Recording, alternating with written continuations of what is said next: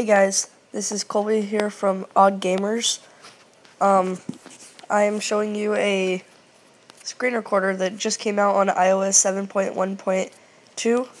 I'll show you that I'm on iOS 7.1.2. Right there. And I'm completely up to date. Here it is. It's called iRec. Um, but I'll show you how to do it. I'll show you right here that uh, it is fully working and I'm not airplaying. Speakers like iPhone speakers. Not airplaying anything except for my speakers because I have airflow right here. But uh, let me show you how to get it.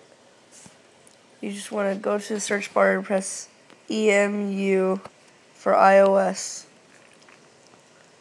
right there and there it is. You just want to click that install button.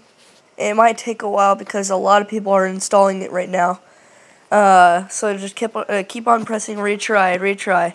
And finally when you get it you go ahead and open up the app. It's basically a Cydia right now. You have quite a bit of apps that are pretty cool.